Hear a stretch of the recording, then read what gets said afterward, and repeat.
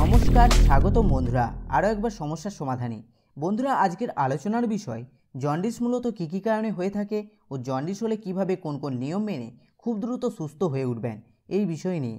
তবে বন্ধুরা, প্রথমেই জানিয়ে রাখি, জন্ডিস আসলে নিজে কোনো রোগ নয়, এটি অন্য রোগের লক্ষণ মাত্র। যা সর্বদাই অন্য রোগের থেকেই সৃষ্টি হয়ে থাকে। বলা যেতেই পারে, বর্তমানে লিভারের রোগী বেশিরভাগ মানুষের জন্ডিসের প্রধান কারণ। লিভারের সমস্যা হলেই রক্তে বিলিরুবিনের মাত্রা স্বাভাবিকের তুলনায় বেড়ে যায় আর তখনই জন্ডিস হয়। তাই লিভারকে যত সুস্থ রাখবেন, ততই প্রত্যেক মানুষের ক্ষেত্রে লাভজনক। এছাড়াও জন্ডিস হতে পারে নানা কারণে। ভাইরাস থেকে শুরু করে নানা ধরনের ঔষধ, অ্যালকোহল সেবন ইত্যাদি কারণেই লিভারে প্রদাহের সৃষ্টি করে। আর তা থেকে এই জন্ডিস নামক ব্যাধির সৃষ্টি হয়। তাহলে আমাদের প্রত্যেককেই সর্বদাই মাথায় রাখতে হবে আমাদের শরীরের এক গুরুত্বপূর্ণ অঙ্গ, লিভারকে কীভাবে সর্বদা সুস্থ রাখা যায়। আর তা নিয়ে এর আগে আমাদের চ্যানেলে আগে থেকে একটি ভিডিও দেওয়া রয়েছে। প্রয়োজনে তা দেখতে পারেন। আশা করি যা প্রত্যেক ব্যক্তিরই বেশ উপকারে আসবে।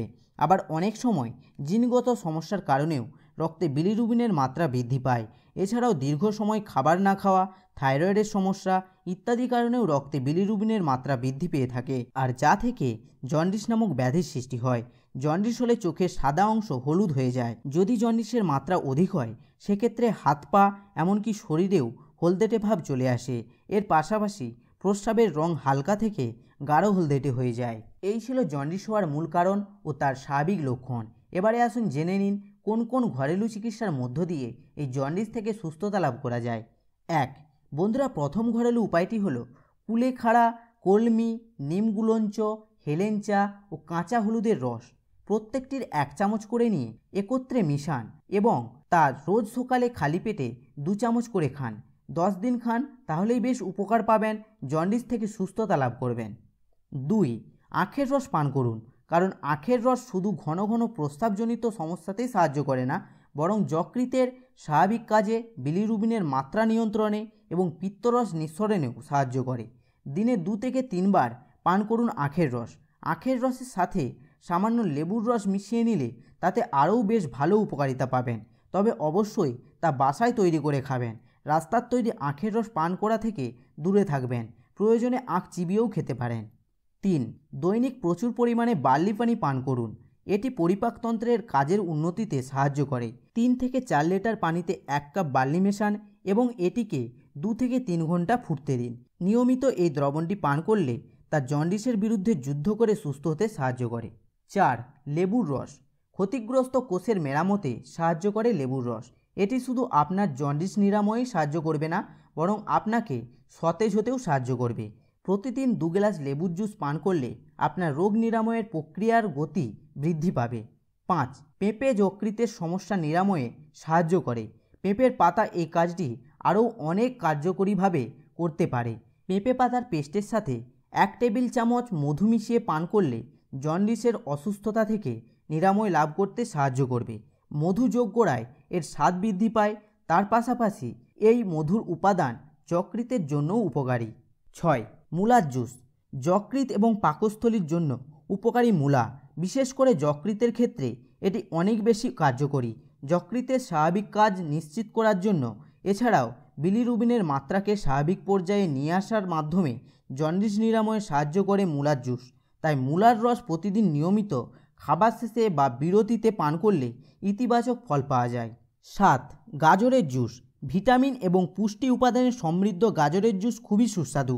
এটি শুধু ডিটক্সিফাই হতেই সাহায্য করে না বরং যকৃতকে পুনরুজ্জীবিত হতেও সাহায্য করে। তাই প্রতিদিন এক গ্লাস গাজরের জুস পান করা, জন্ডিস থেকে নিরাময় লাভ করার প্রক্রিয়াকে অনেক গতিময় করে তোলে। আট, আনারস। জন্ডিসে আখের রস যেমন ভালো কাজ করে, ঠিক তেমনই আনারসও সেই ভূমিকা পালন করে। এছাড়াও লিভার পরিশোধনে আনারস খুবই উপকারী। নয়, পুদিনার পাতা। লিভার ফাংশনের জন্য খুবই উপকারী পাতা হচ্ছে পুদিনা। এর পাতা প্রতিদিন সকালে চার পাঁচটি খেলে জন্ডিসের জন্য বেশ ভালো উপকার পাওয়া যাবে। এছাড়াও পুদিনার জুস করে যদি খান, সেটি আরও বেশ উপকারী। দশ, আদার রস। আদার রস খুব একটা সুস্বাদু পানীয় নয় ঠিকই, কিন্তু এটি যকৃতকে সমস্যা থেকে সুরক্ষা দেয় এবং এর স্বাভাবিক কাজের উন্নতি ঘটায়।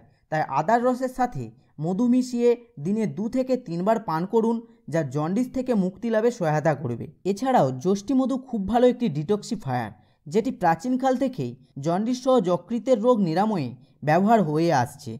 এছাড়াও স্ট্রেস মুক্ত হতেও সাহায্য করে যষ্টিমধু যা যে কোনো রোগ নিরাময়ের জন্য প্রয়োজনীয়। তাই যষ্টিমধুর মূল আপনার প্রিয় কোনো পানীয় যেমন স্যুপের সাথে ফুটিয়ে নিয়ে পান করতে পারেন। এছাড়াও ফাইবারযুক্ত খাবার জন্ডিস রোগ নিরাময়ে বিশেষ ভূমিকা পালন করে। তাই ফাইবার সমৃদ্ধ খাবার অবশ্যই খাবেন। ফাইবার জাতীয় ফল সবজি তো অবশ্যই। এছাড়াও বাদাম, শস্যদানা ওটমিল আমন্ড ব্রাউন রাইস ইত্যাদি বেশি করে খাবেন।